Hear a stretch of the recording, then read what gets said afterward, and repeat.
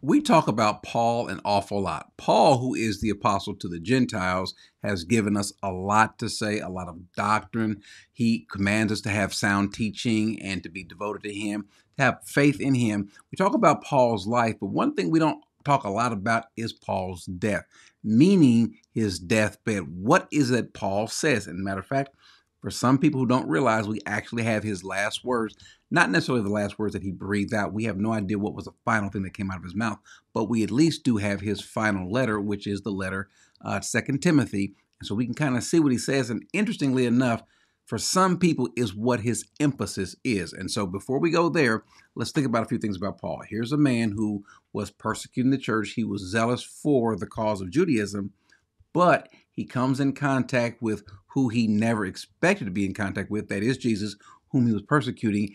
And what does Jesus say to him? Or not necessarily to him, but what we, what do we know that he says to him by way of his conversation, God, that is God's conversation with Ananias. In Acts 9:16, the Lord is speaking to Ananias and says, For I will show him how much he will suffer for my name's sake. Now, it's likely that also God showed Paul what he's going to suffer for his sake. And so, Paul, as you read his letters, you understand that Paul pretty much knows what his fate is going to be. As a matter of fact, Paul makes a statement that to live is Christ, to die is gain, meaning that to live to serve the Lord, that's for the benefit of Christ. And as a matter of fact, he even says that he would rather go and be with the Lord, but to be here to serve him, that's good also. And to die, he says, is gain. And so he'd much rather die, but he knows why he's here.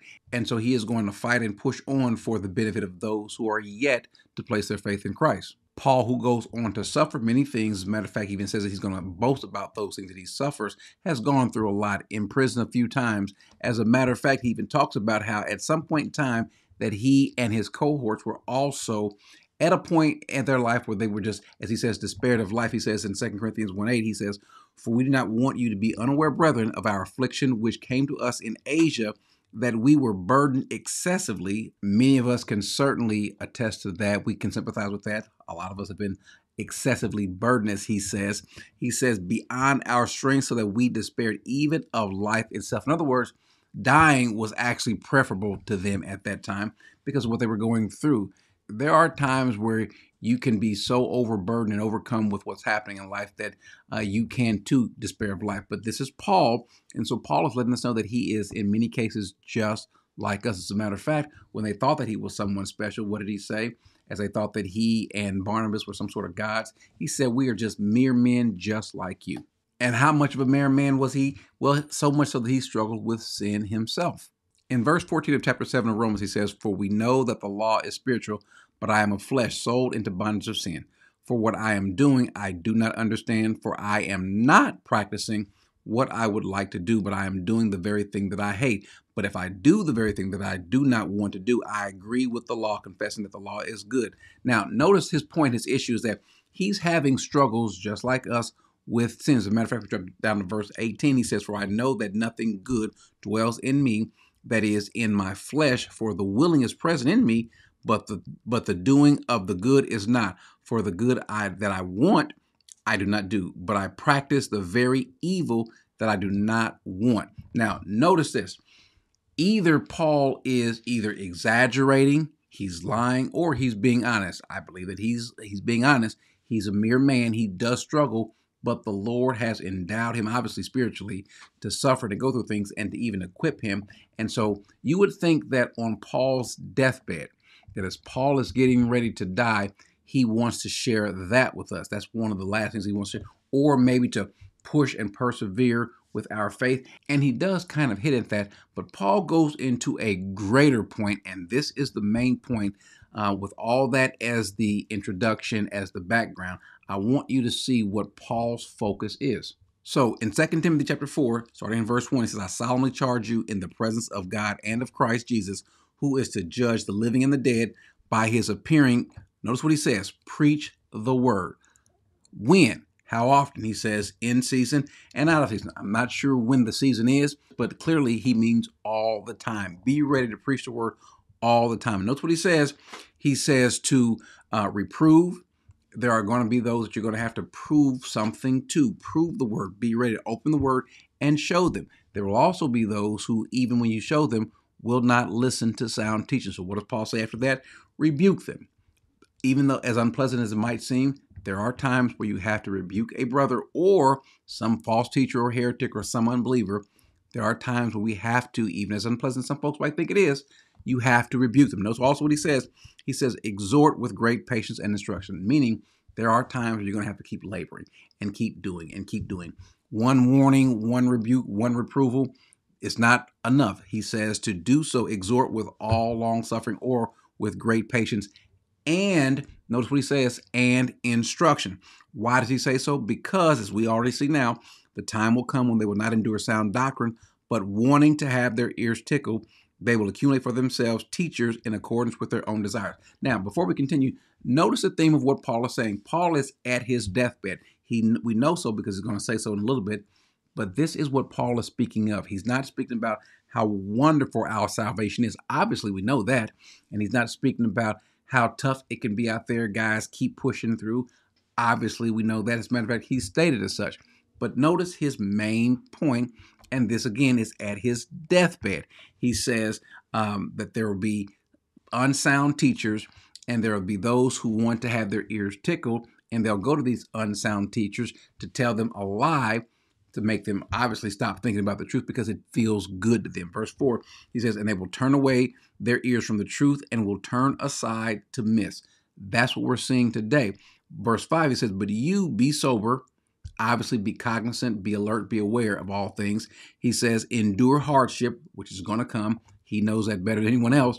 He says, Do the work of an evangelist. There is that means giving the gospel as you live. How it's going to show up in different people's lives, we don't know. It's going to vary from person to person, but do the work of an evangelist. Fulfill your ministry. Notice what he says here in verse 6 For I am already being poured out as a drink offering, and the time of my departure has come. Paul has recognized that he has served his purpose. Uh, he has gotten to the end. He is he is getting ready to die. Notice what he says. He says, "I have fought the good fight. I have finished the course. I have kept the faith. Now, the course that he's speaking of, remember, the Lord says that you are going to suffer these things for him, but he's going to reward him, but he is going to suffer. Paul has suffered, and his end is near. He says, notice this though. I have finished the course. I have kept the faith. And this this part right here, I have kept the faith. Notice what it is. This is tain pistain tetereka, which is I have completed. I have kept the faith, kept the tenets of the faith, not kept believing, kept having faith. I have kept the faith, which is what? The doctrine, the teachings, what we know from the Lord. In other words, as far as we're concerned, the word. I have not deviated from the doctrine because he just talked about keeping sound doctrine. So we know that's what he's speaking of. Paul has not departed that. The problem is today we see more and more people who have departed from sound doctrine, who have departed from the teaching. They have decided to come up with all sorts of new myths, as Paul calls. They will have ways of kind of tickling their own ears or going to other people. That is certainly a problem today. And think about that. This is what Paul decides to warn us on his deathbed. Of all the things that you can think about warn about doing on your deathbed, would it be maybe it would be, but for most folks it would not be to warn their loved ones of the dangers of the world. Or as a Christian, to warn them to make sure you keep and hold to sound doctrine. Do you think that's important? Do you think that's important to Paul? Do you think it's important to God for him, for us to have that in the canon to be God breathed? This is what the Holy Spirit is causing to be breathed out of Paul on his deathbed to make sure you, I, we all stay focused on his word. He says, I have fought the good fight, I have finished the course, I have kept the faith.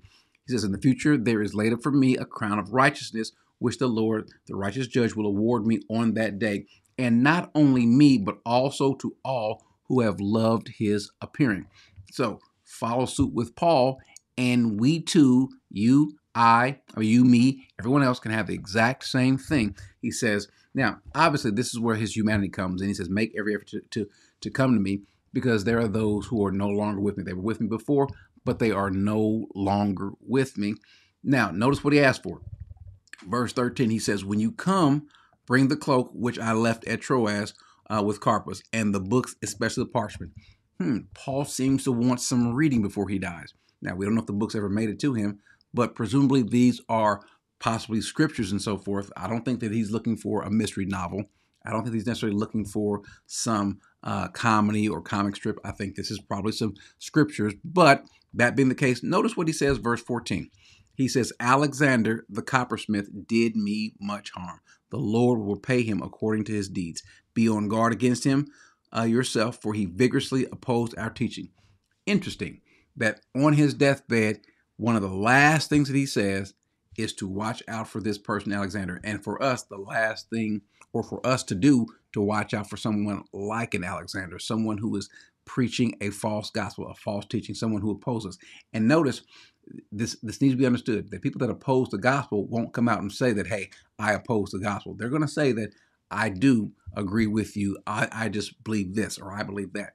They will, as he says, not endure sound doctrine. And you'll have the different Alexanders of the world who will come and do whatever they can to distort the scriptures, whether intentionally or unintentionally. It doesn't matter, but distortion is still the end result. And so he says, be on guard because they are opposing the message. Which message? The entirety of there's no part of the Bible, there's no part of the teaching that is secondary or tertiary, that is in, insignificant. No, if it's written, means that it was given to us by the Holy Spirit. And if that was the case, then that means that the Lord intends for us to keep all of it. As Paul says, I have kept the faith, kept the teachings, kept the belief. That's the goal, he, he says. Now, he does, does go on to end with some final greetings and so forth. But notice again what his point is to make sure that the keeping of the word, the soundness of it, is of paramount importance. If that's the case with Paul on his deathbed, some of his final words, at least the final words that we have recorded for him, then what do you think we should think about that? How should we treat that? The reason why it's important to make sure that we hold a sound doctrine, that we teach the word, that we, as Paul says, don't exceed from what the text says, and that we also point out, again, for some folks, it's it's it's not a pleasant thing, but for some folks, we need to call out and make sure that we warn of the Alexanders of the world, warn against the bad teachings, and direct them to sound doctrine, like Paul's wish is on his deathbed, which is not his wish, but it's the wish of the Spirit through him. And so, guys, we should take a lesson from Paul. The times are getting worse and worse and worse. How how strong do you think this warning might have been if Paul were alive today facing his deathbed? I think he probably would have used some even more choice words, some more stringent, tougher words, because what he's speaking of then is clearly happening now and it's at a sped up rate. And so for us, we need to do the same thing. There are people that we can think of. There are some we haven't even met yet that are that fit the definition, the description of this Alexander. And so, guys, make sure that you hold to sound doctrine, teach it, preach it, keep it, love it, make sure that no one leads you astray from that. And Paul says the same crown of righteousness that he has that's laid for him, the same thing you can have too. Amen.